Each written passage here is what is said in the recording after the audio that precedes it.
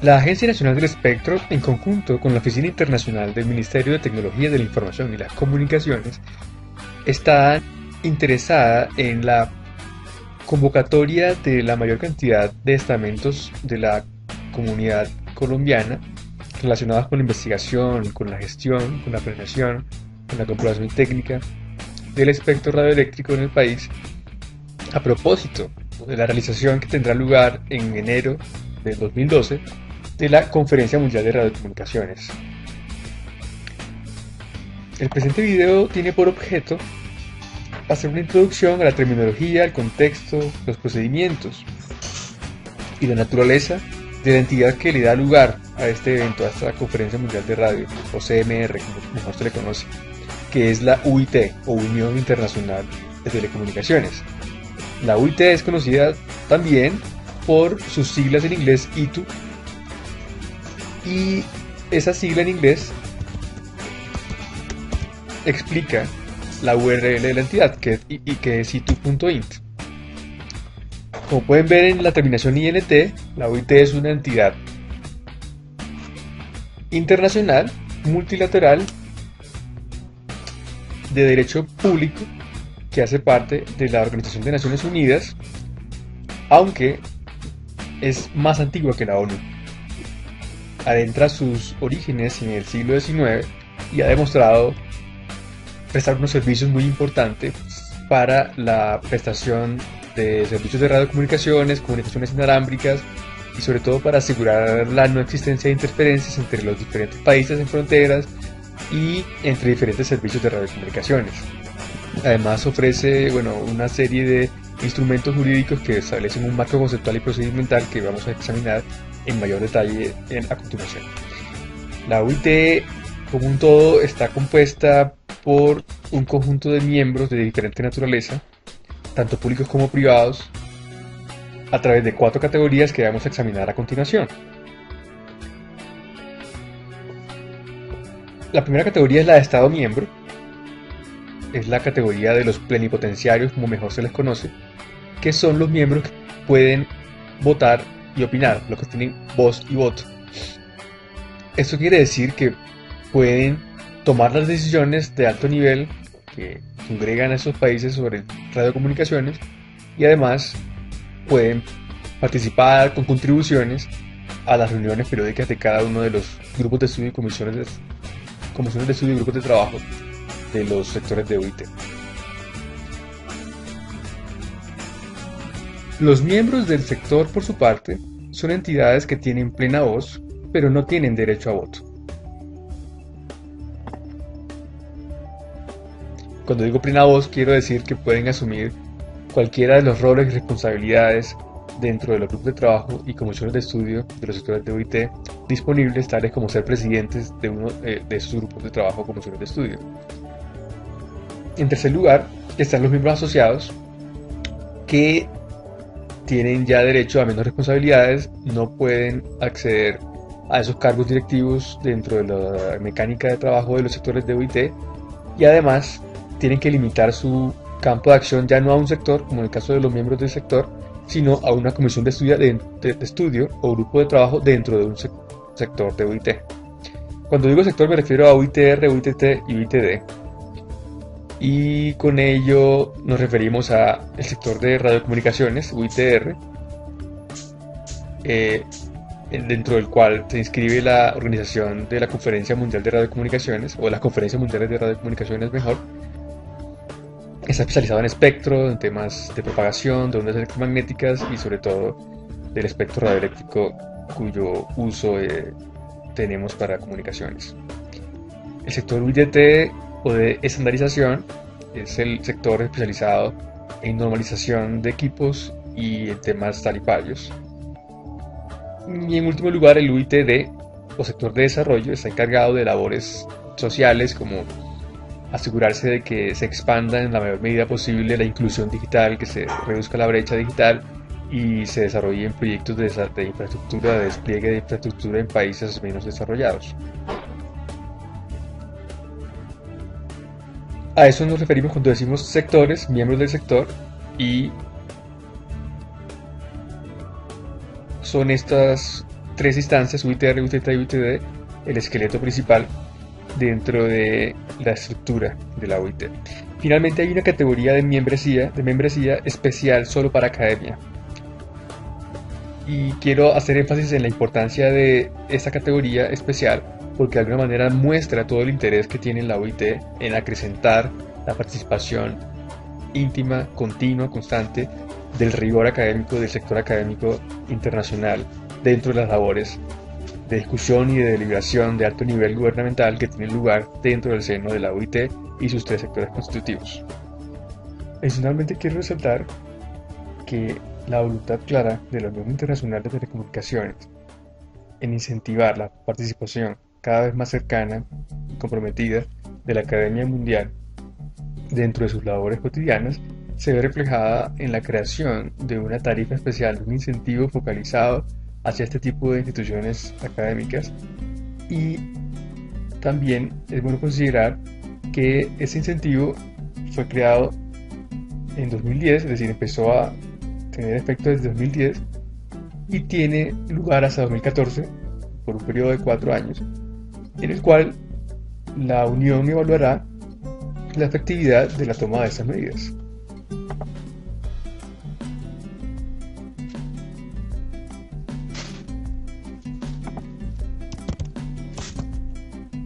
Centrémonos a continuación en el sector de radiocomunicaciones de la OIT.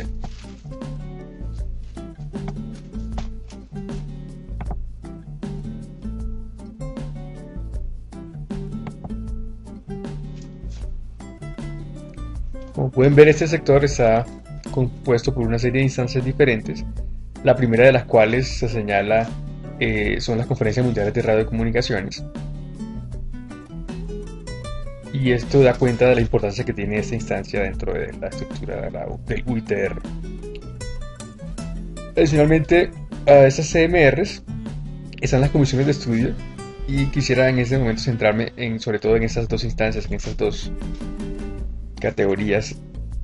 organizacionales del, del UITR. Las conferencias mundiales de radiocomunicaciones son eventos de gran convocatoria que reúnen tanto entidades públicas como privadas de todo el mundo, cada tres o cinco años, de acuerdo a lo que los miembros decidan,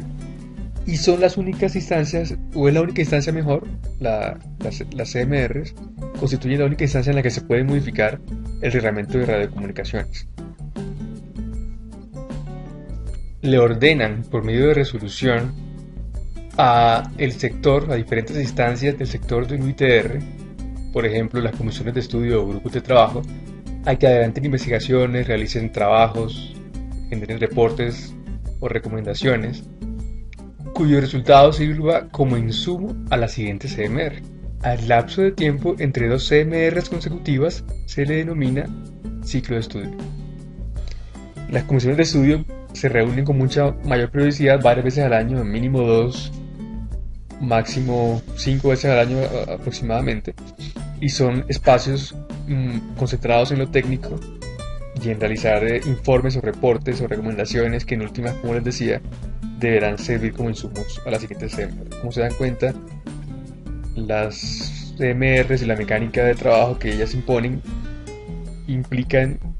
que el espectro radioeléctrico se debe o se planea y se gestiona a nivel internacional sobre una base de mediano plazo y hasta largo plazo, pero nunca en el corto plazo. Y yo creo que de allí se deriva el gran éxito que ha tenido esta aproximación en la historia. Las conferencias mundiales de radiocomunicaciones, como les decía, son la única instancia que pueden modificar,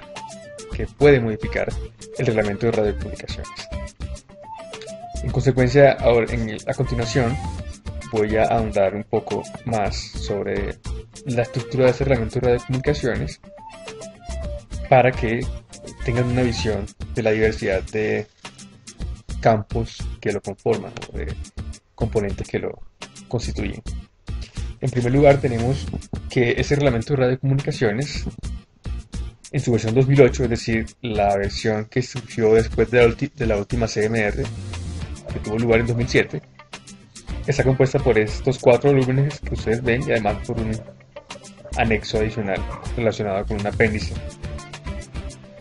que es el apéndice 27.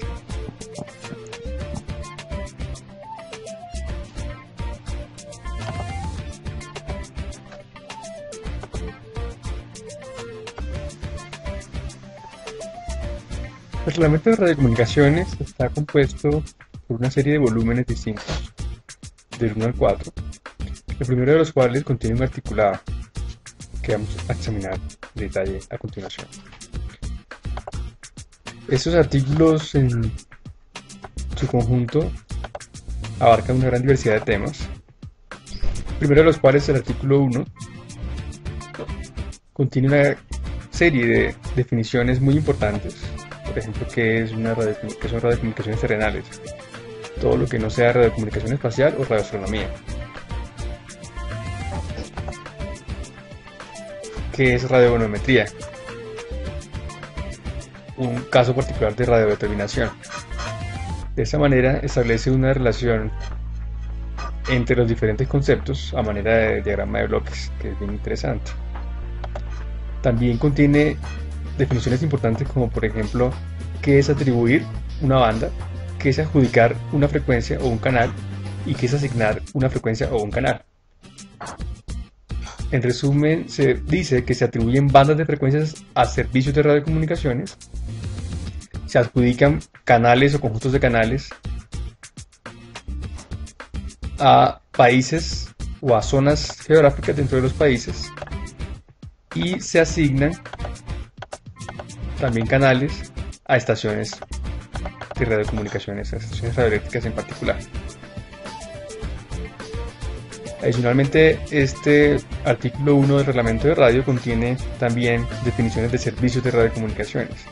Por eso hablamos de los 41 servicios definidos por el reglamento de radio.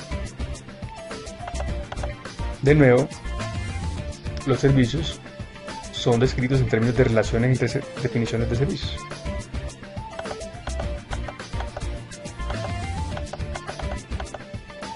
Y finalmente también contiene este artículo 1 definiciones de tipos de estaciones asociadas a las definiciones de los servicios, a los que esas estaciones están relacionadas.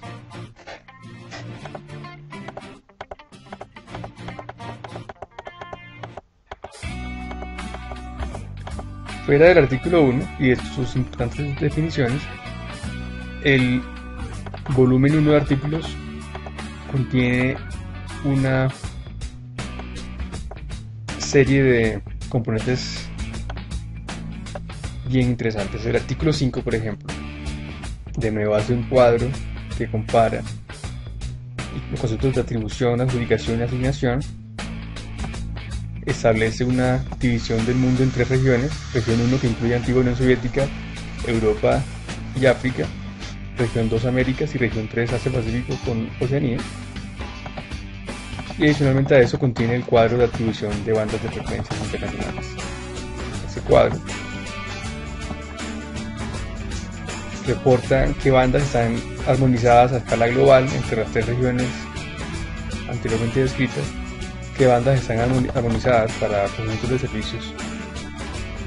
solo a escala ya regional dentro de cada una de las regiones y qué bandas están atribuidas a determinados servicios a escala subregional o de conjuntos de países cuyo número puede no ser muy grande. Esta sección es la conocida como de notas internacionales, que son referidas dentro del cuadro a través de este tipo de apuntes. Otro ejemplo de artículo que tiene una finalidad y una utilidad distinto, distinta son los el artículo 9 junto con el artículo 11. Artículo 9 ya establece un marco procedimental para permitir la coordinación o en últimas el logro de acuerdos entre administraciones respecto a la introducción de nuevas asignaciones que puedan tener impacto sobre otros países o que por alguna razón requieran de reconocimiento internacional. Este artículo 9 se encarga de asegurar que las asignaciones entrantes no vean bloqueada su solicitud de ingreso, así como de proteger las asignaciones existentes. El artículo 9 responde a este esta especie de tensión que hay entre lo que existe y lo que propone de manera innovadora, digamos, como ingreso al sistema.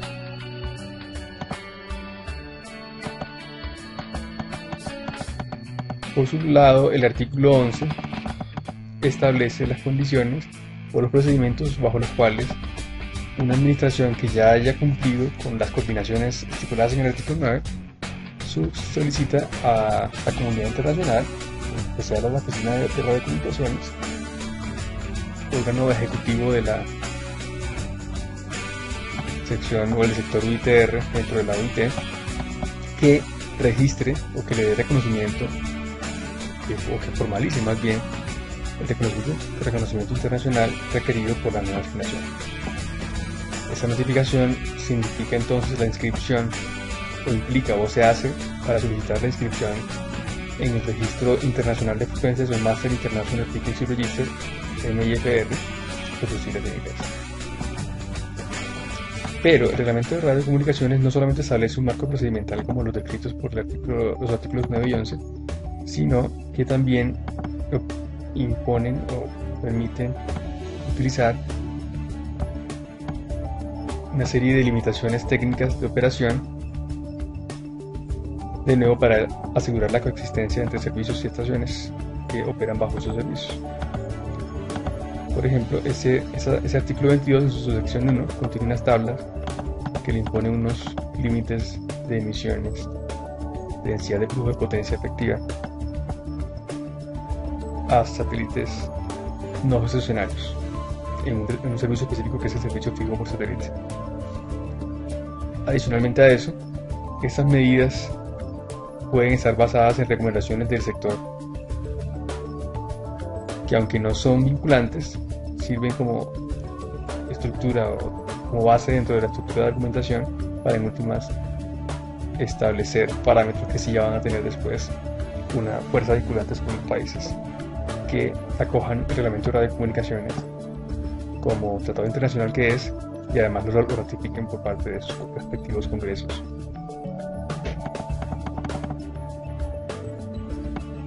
Finalmente, les quiero señalar que este reglamento de radiocomunicaciones, dentro de sus diferentes secciones y artículos,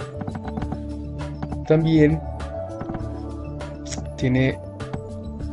disposiciones especiales para los diferentes servicios que componen o que son descritos en su interior. Por ejemplo, hay un capítulo solamente para servicios aeronáuticos, otro para servicios marítimos y otro para comunicaciones de socorro y de seguridad. Todos esos conceptos están definidos en el artículo 1, como les acabo de decir hace un momento. Eso en cuanto al volumen 1 del articulado del reglamento de radiocomunicaciones. Además hay un volumen 2 con apéndices que también tienen una serie de herramientas de gran relevancia para el día a día de los ingenieros de radio en el mundo. Les quiero mostrar algunos como ejemplos solo para que alcancen a vislumbrar la gran diversidad de temas que pueden ser abordados por los apéndices del reglamento de radio con igual fuerza vinculante. El apéndice 7, por ejemplo, determina qué métodos de cálculo se pueden utilizar para determinar las zonas de coordinación o contornos de coordinación en los alrededores de una estación terrena en las bandas de frecuencias casi que todas las comercialmente utilizables hoy en día. Y en ese sentido ofrece todo un marco conceptual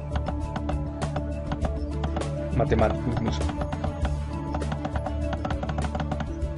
En algunas ocasiones que sirve básicamente como algoritmo paso a paso a seguir por parte de las administraciones para poder utilizar esta herramienta técnico-regulatoria, administrativa,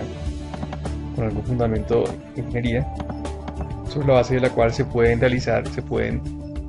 adelantar los procedimientos del artículo 9, de los cuales les hablé hace un momento, los procedimientos, de coordinación, en particular cuando una estación terrena dentro de algún servicio satelital se ve involucrada. De nuevo, los apéndices ofrecen unos marcos en general, no solamente el apéndice 7, sino otros marcos para poder aplicar el articulado del reglamento de radio en el grupo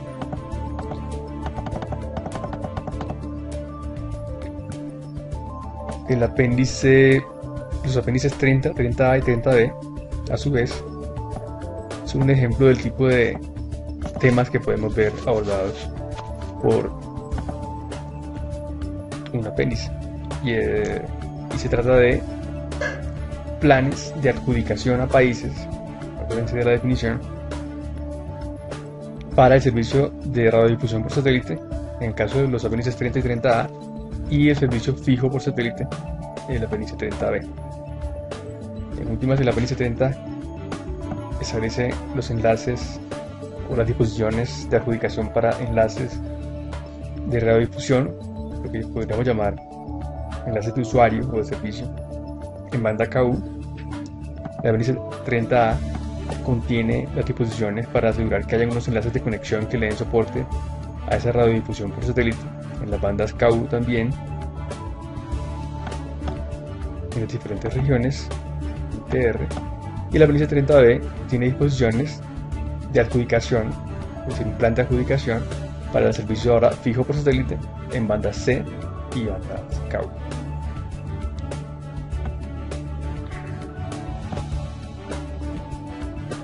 Finalmente, una apéndice 27, por ejemplo, también tiene un plan de frecuencias, pero para servicio móvil aeronáutico con rutas y información conexa. De manera que por eso podemos entender que se alude con esta sección del reglamento de radio, contiene unos mapas de soporte para de nuevo la aplicación, en este caso de la apéndice 27, versión revisada de la CMR o World Radio Communication Conference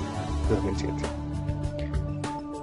Por último, me concentraré en las diferencias que hay entre el volumen 3 y el volumen 4. Mire que ambos tienen recomendaciones y quiero hacer énfasis en las diferencias y las recomendaciones que están contenidas en cada uno de sus volúmenes. El volumen 3 contiene recomendaciones de la Conferencia Mundial de Radiocomunicaciones, como les decía, con una gran capacidad de convocatoria y representatividad. Mientras que el volumen 4 contiene recomendaciones del UITR, las cuales no son menos importantes y cuentan con gran reconocimiento profesional, pero no cuentan con el mismo nivel de representatividad. En consecuencia, las recomendaciones de la CMR se adjuntan dentro del reglamento de radio como tratado internacional vinculante, sin notas, sin ningún tipo de aclaración, mientras que estas recomendaciones del UITR se dice que se incluyen en el volumen 4 por separado, solo por referencia. Entienden por qué se hace esta aclaración acá. Las resoluciones a su vez generalmente son órdenes que da la Conferencia Mundial de Radiocomunicaciones a otras instancias de, del UITR. Muchas veces le da órdenes al, sector UITR mismo, a las comisiones de estudio y grupos de trabajo, para que se adelanten determinados estudios que van a ser examinados en sus resultados durante la siguiente Conferencia Mundial de la Comunicación. Entonces, miremos un ejemplo de resolución de estas para ver qué nos puede llegar a decir. Por ejemplo, la resolución 749,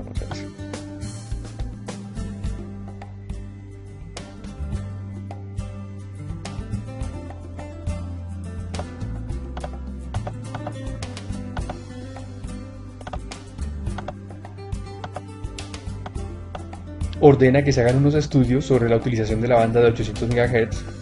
para aplicaciones de servicio móvil y otros servicios. la resolución contiene una sección de considerandos, una sección de preámbulos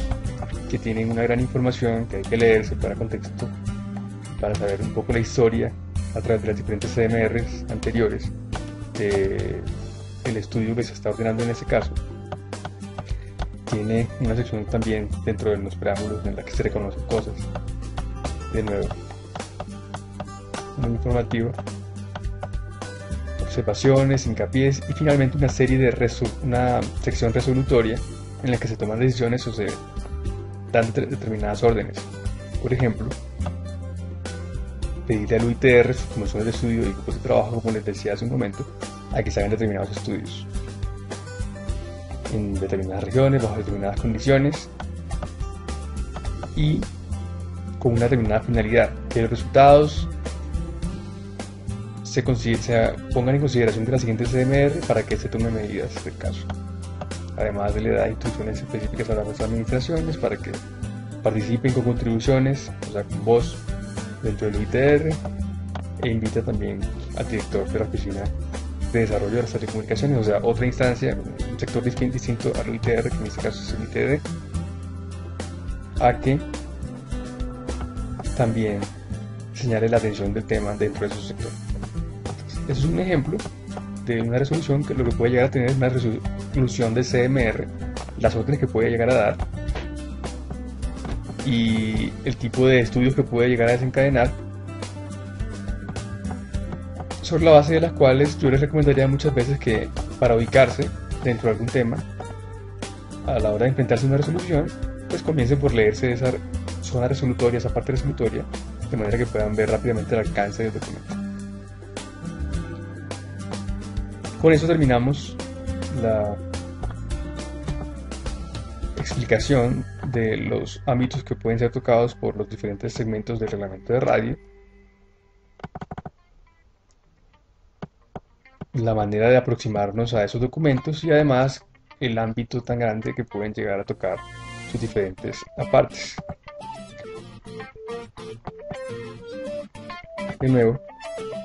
la importancia de las conferencias mundiales de radiocomunicaciones, la siguiente de las cuales será considerada en 2012 en enero, radica en que solamente esas conferencias pueden modificar a ese reglamento de radiocomunicaciones. Se pueden dar cuenta, el UITR tiene una estructura mucho más compleja de la que acabamos de examinar. Nos hemos centrado de pronto en lo que nos interesa más, pero también hay unas asambleas de radiocomunicaciones que se reúnen una semana antes de las conferencias que pueden llegar o que son las encargadas de darle órdenes a las comisiones de estudio en términos de questions, es decir, de decirles qué preguntas abordar, qué temas tratar. Muchos de esas, de, esos, eh, de esas questions, de esas preguntas, tienen origen en las resoluciones de las conferencias mundiales de radiocomunicaciones, pero no se limitan a ese alcance, también hay una instancia, un estamento que es la Junta de Reglamento, de Radiocomunicaciones, que es una especie de órgano jurisdiccional o más, más que eso, como una especie de tribunal de arbitramiento para resolver casos de, aplicación difícil del reglamento de radiocomunicaciones y tiene el objeto de dar recomendaciones para poder interpretar correctamente ese reglamento. Como guía de interpretación genera una cosa que se llama las reglas de procedimiento o Rules of Procedure, y bueno, ese es básicamente el ámbito en el que trabaja, es casi como un tribunal, un órgano judicial, Dentro del ITR, el órgano legislativo pues sería la, CDMR, y el órgano ejecutivo pues no está aquí pero es la mencionada Oficina de Radiocomunicaciones OBR, el componente ejecutivo de la estructura. También hay un grupo asesor de radiocomunicaciones que tiene competencias sobre las comisiones de estudio, pero que se reúne con una mayor periodicidad que las asambleas de radio. Finalmente nos centraremos en lo que más nos interesa, que son las comisiones de estudio. Esas comisiones de estudio en inglés se les conoce como study groups. Como pueden ver, tratan una gran diversidad de temas, desde, desde gestión de espectro hasta propagación, desde servicios por satélite hasta servicios terrenales o de radiodifusión, incluyendo también servicios científicos. Cada comisión de estudio tiene una serie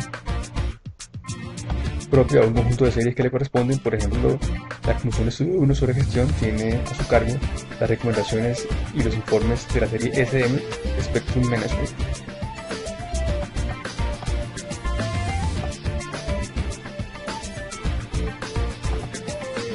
La invitación entonces es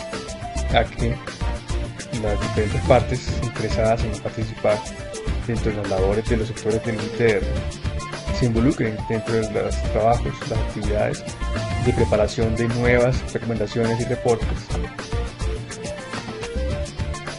Y además en la revisión de las recomendaciones y reportes o informes existentes. Las recomendaciones y reportes que están en vigor pueden ser descargadas de manera libre gratuita por parte de cualquier usuario sin importar su origen. Son completamente disponibles o están completamente disponibles para el público en general. Se pueden descargar en diferentes idiomas y formatos. Los idiomas oficiales de la OIT que son estos seis. Y cualquiera de los tres formatos que ven en la página. Sin embargo, cuando una recomendación o reporte está en proceso de elaboración, cuando no está en vigor, solo se puede acceder por parte de quienes tengan usuarios tallas, TIES. De aquí la importancia de que las entidades diferentes se hagan, ya sean miembros del sector, o miembros asociados, o miembros académicos, porque solo esas entidades pueden crear usuarios TIES para sus miembros para las personas que hacen parte de estas entidades. Por ejemplo, una universidad podría darle usuarios TIES, a sus profesores. De manera que sus profesores puedan enviar contribuciones en nombre de la universidad a la UIT que sirvan como insumo a las discusiones que en última van a tener como resultado tomar decisiones eh, o impacto, por ejemplo, sobre la redacción de esos informes que en últimas, de nuevo, tienen influencia porque son los insumos sobre los cuales las conferencias mundiales de radiocomunicaciones toman sus decisiones.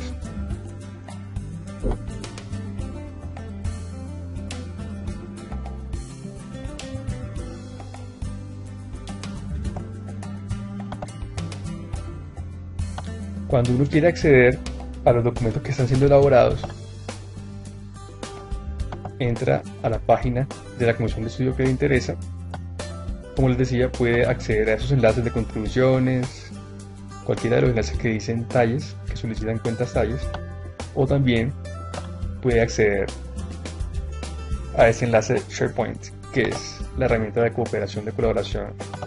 que se utiliza durante las reuniones del UITR, de las comisiones de estudio y grupos de trabajo del UITR. Entonces, para que tengan un vistazo de cómo luce SharePoint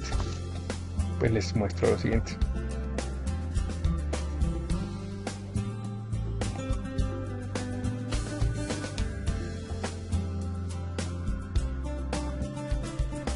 Como pueden darse cuenta, es un sitio que está organizado también de acuerdo a la estructura del UITR, sus study groups o comisiones de estudio y sus working parties o grupos de trabajo.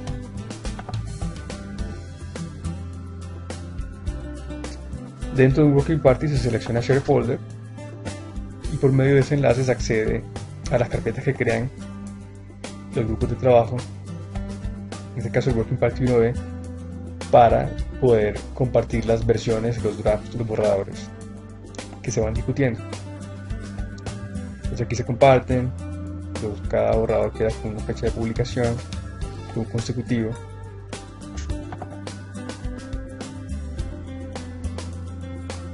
y todas las versiones revisadas quedan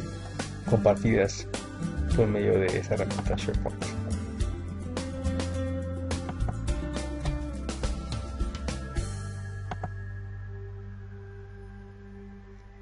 También en la carpeta temp se ponen los documentos que ya han sido discutidos dentro de los working parties que se decide que ya pueden ser remitidos para su consideración por parte del SAD Group de la Comisión de Estudio. En documentos administrativos hay mucha información importante porque son sobre todo porque en esa zona se disponen las agendas o la estructura de los working groups, de los subgrupos de trabajo, dentro de los cuales los grupos de trabajo adelantan realmente la labor física de redacción. De manera que esa estructura organizativa pues la encuentran, esa estructura de working groups dentro de los working parties, la pueden encontrar en ese tipo de documentos que están en la carpeta de admin o ADM. Las agendas también de alguna forma categorizan o clasifican todas las contribuciones que están en el enlace que les mostré al principio de acuerdo a un orden del día. Finalmente, pues hay una, carpeta info que contiene información logística o de listas de participantes, de cosas. Esto es SharePoint. Y de nuevo, para acceder a esto, solo se requiere tener una cuenta TIES o TIES. Y para ello pues hay que pertenecer a una organización que sea miembro de OIT dentro de cualquiera de las cuatro categorías que les mencioné al principio.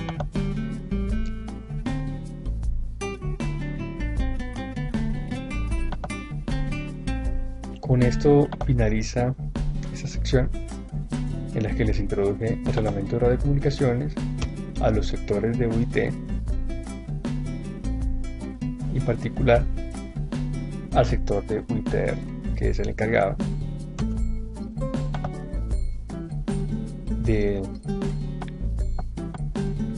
organizar las conferencias mundiales de radiocomunicaciones y de llevar a cabo los estudios que esas conferencias mundiales de radiocomunicaciones ordenan. Muchísimas gracias, hasta la siguiente oportunidad.